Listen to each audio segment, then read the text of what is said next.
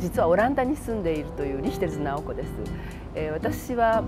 まあ、主に教育に関心を持ってオランダの教育ヨーロッパの市民社会について本を書いたり、えー、講演をしたりというような活動をしてるんですけど、えー、今回もこのピースボートに乗らせていただいて地球大学の学生さんと一緒にワークショップをしたり皆さんに講演を聞いていただいたりしています。私の関心は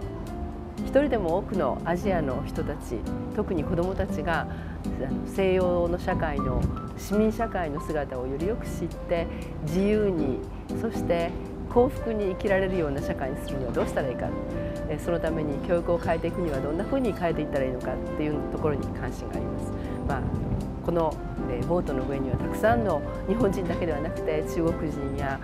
韓国の方シンガポールの方いろんな方が乗ってらっしゃいます。その中でグローバル市民とは一体何なのかっていうのを一緒に考えていけるとても素晴らしい機会だと思っています。皆さんともまたどこかでお会いできるといいなと